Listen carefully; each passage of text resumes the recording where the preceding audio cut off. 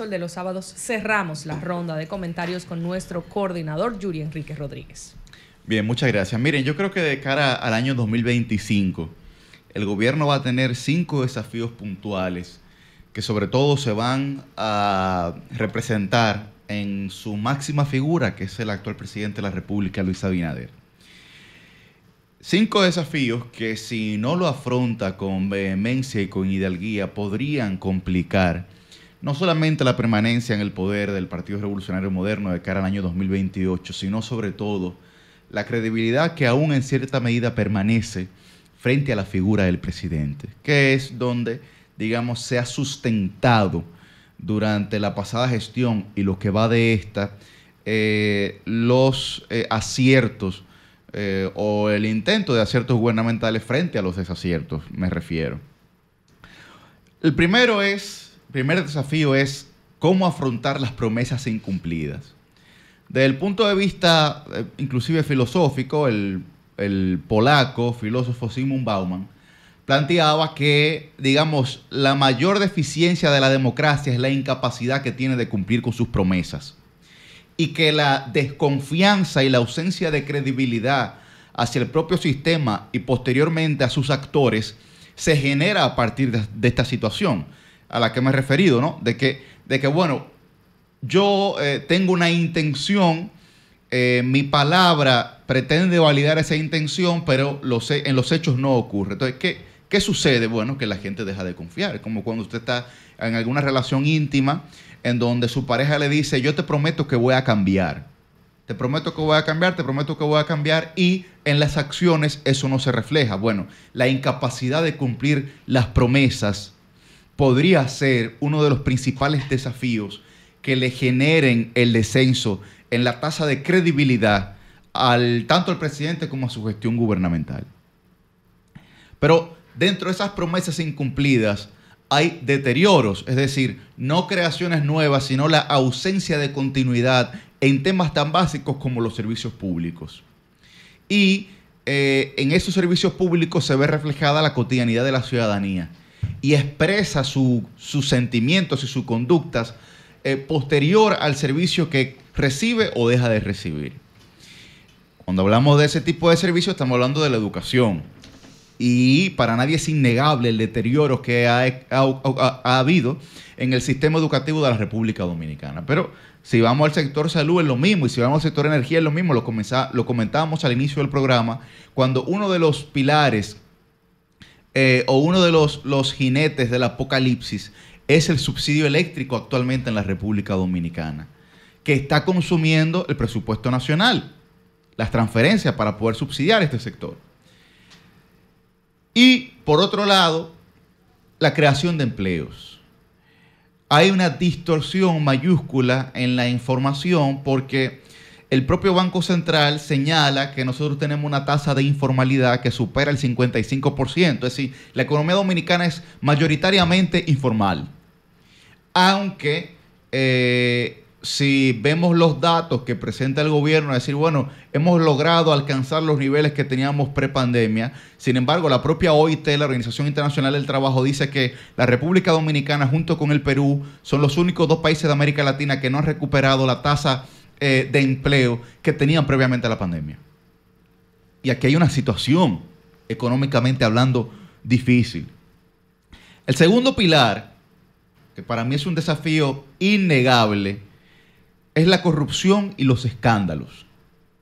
Un gobierno que basó y que ha basado también, aparte de la credibilidad en su principal eh, figura, que es el presidente, que ha basado su línea narrativa, su discurso, en un abstracto como es la corrupción. ¿Y por qué digo abstracto? Es un abstracto porque no existe ni siquiera ningún método científico que pueda validar la reducción en índice de corrupción. Para quienes nos escuchan y no lo saben, cuando usted ve que se sube o se baja en los índices de corrupción, la principal metodología es de percepción. No es de método científico, es de percepción. Y la percepción que hay en la ciudadanía es precisamente el aumento de la corrupción y de escándalos por parte del PRM. Y estas navidades no han sido exentas de eso porque con solamente usted ver las entregas de tarjetas de los bonos navideños como lo hizo eh, el director del gabinete social, que no es la primera vez que este señor eh, actúa de esa manera. Hay que recordar los bonos los bonos que le dio a los artistas. 100 millones. En cualquier país que se respete, ese señor hubiese dimitido antes de ayer. Y yo decía en otro espacio que estuve esta semana que este es un país de poca vergüenza. Para no decir de sinvergüenza, porque es una actuación sin vergüenza. Y hay una serie de actuaciones sin vergüenza por parte del gobierno que, insisto, en cualquier otro país no ocurrirían. El tercero es problemas económicos no resueltos y dentro de ellos la deuda pública, que es otro de los jinetes del apocalipsis que también está consumiendo el presupuesto nacional y el aumento de la nómina de manera desmedida, la enormidad del Estado que a pesar de estas renuncias que nosotros hemos mencionado aquí el día de hoy, no representan en lo absoluto una disminución ni de la burocracia, ni de la enormidad del Estado, ni mucho menos un aumento en la eficiencia de los servicios que cada uno de esos ministerios pretende ofrecerle a la ciudadanía. El cuarto es la falta de transparencia. Nosotros tuvimos durante todo un año completo una ley que legalizaba el espionaje en la República Dominicana. Y ese año fue un año electoral. Y aquí no se ha querido decir, ni se ha hablado de todo lo que pudo haber ocurrido durante ese año electoral con informaciones que no transcurrieron procesos judiciales y que fueron levantadas esas informaciones sin ningún tipo de requerimiento o de aprobación de jueces. Eso es un atentado claro a la transparencia. Claro, claro. O sea, no, no, no, hay, que, no hay que buscarle una explicación aeronáutica a esto, ni de la NASA mucho menos. Y eh, la falta de transparencia en decisiones importantes. Decisiones importantes. Es decir, eh, cuando aquí usted ve que se somete una reforma fiscal en la que usted sabe cuando usted se tira de un avión y el paracaídas no le abre.